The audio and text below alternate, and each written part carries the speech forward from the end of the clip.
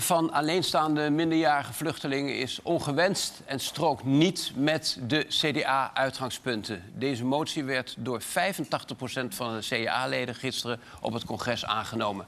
Maar heeft de 18-jarige Mauro Manuel daar wel nog iets aan? Dinsdag stemt de Tweede Kamer over Mauro. Maar GroenLinks-Kamerlid Tovik Dibi die wil een heropening van het debat. En daarom is hij hier. Meneer Dibi, van harte welkom. Dank u wel. Ja, u wilt opnieuw een Kamerdebat. U wilt opnieuw in debat met, met, met minister Leers over de kwestie. Maar waarom?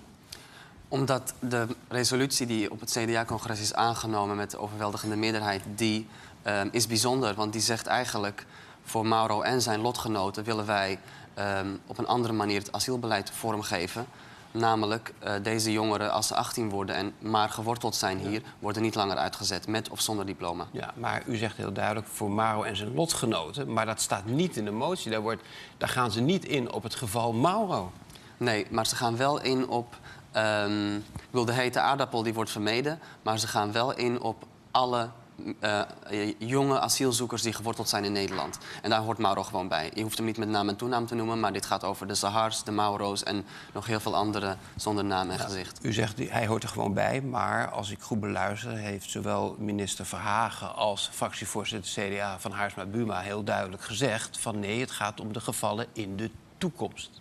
Ja, dus in de toekomst willen we humaner asielbeleid, maar nu even niet. Ja.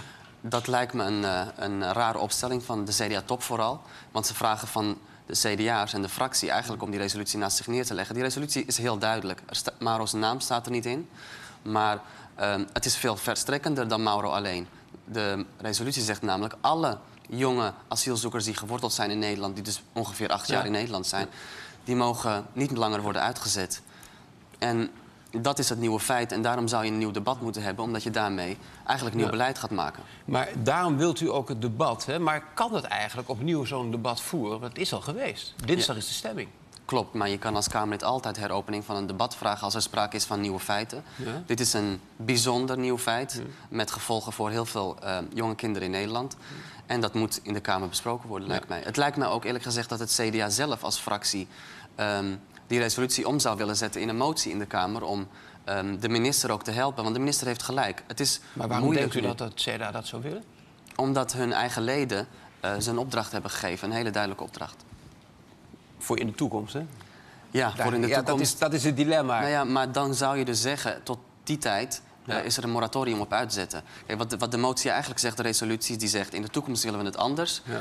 Maar voor alle gevallen die nu mogelijk dreigen te worden uitgezet... zou je dan een moratorium ja. moeten inlassen. Nou is het zo dat je kan een debat dus aanvragen, kennelijk. Kan opnieuw aanvragen. Maar moet dat met meerderheid van stemmen?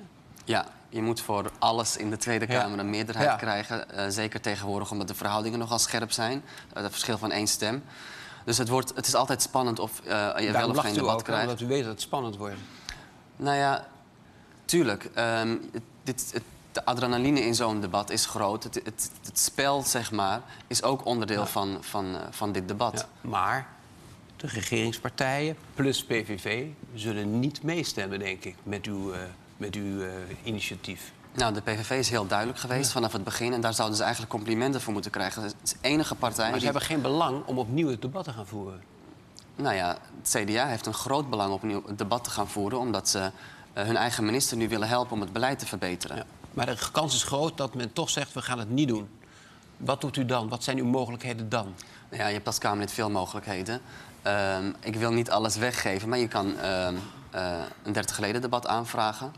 Je zou uh, je moties kunnen aanhouden om langer met het CDA te, te spreken. Kijk, ik heb geen wat bedoelt u om... een, een, motie aanhouden om het langer met het CDA te bespreken? Wat, wat nou ja, bedoelt u dan? Uh, dinsdag worden de moties in stemming gebracht. Ja. Je hebt als Kamerlid het recht om uh, je eigen moties... Ja. om die uit te stellen van stemming. Omdat je uh, langere tijd nodig hebt om, om erover te spreken. Um, ik heb eerlijk gezegd geen behoefte om een conflict met het CDA aan te gaan. Want um, zij zijn bondgenoten geworden na zaterdag. Het CDA is, uh, zorgt nu voor een meerderheid. Heel anders, hè? Ja, voor Hagen, dat begrijp ik. Omdat hij binnen het kabinet geen conflict uh, wil creëren. Maar hij creëert daarmee wel een conflict binnen zijn eigen partij. De vraag ook aan Verhagen is... wat is nou belangrijker? Een conflict vermijden binnen het kabinet... of een conflict vermijden binnen je eigen partij? Maar u, die, maar u, kunt de, u kunt de motie aanhouden, een week later. Wat wilt u dan in die week gaan doen? Een hoop, nou, wat we eigenlijk de afgelopen dagen ook hebben gedaan...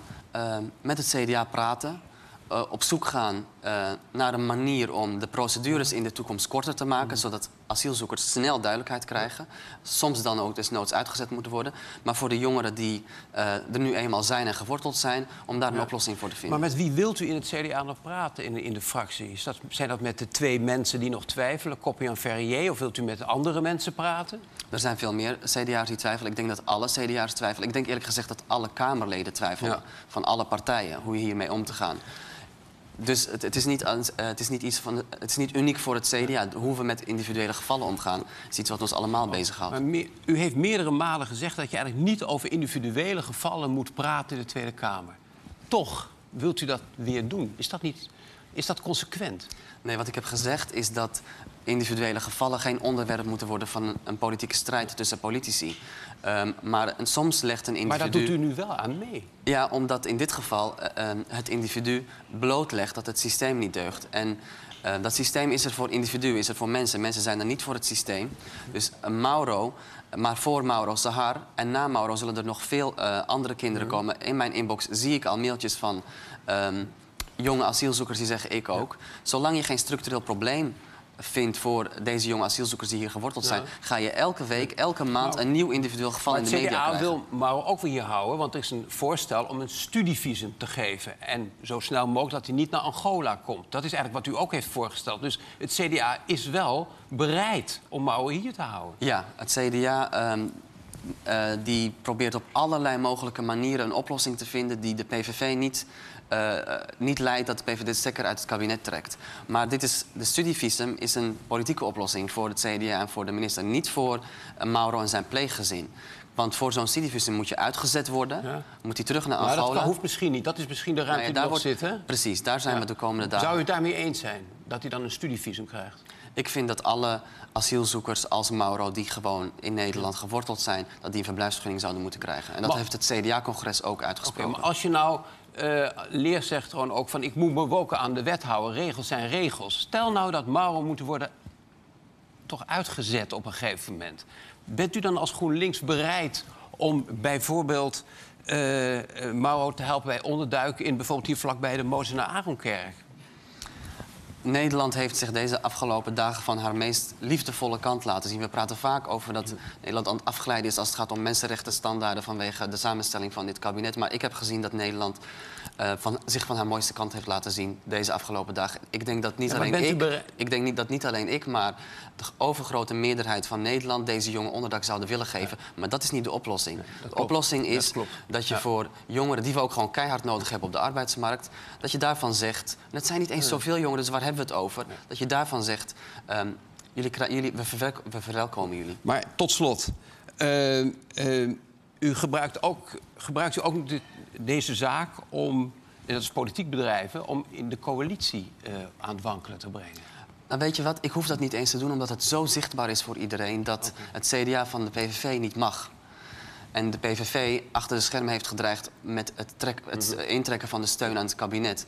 Dus tuurlijk, dat spelelement van oppositie voeren en proberen het conflict bloot te leggen, dat is onderdeel van het debat. Maar de kern van het debat gaat, uh, is, is niet alleen Mauro, maar het zijn al die jongeren die hier gewoon geworteld zijn. Goed, we zullen het afwachten aan okay. dinsdag. Dank u wel voor uw komst. Ik ook. Oké, graag gedaan.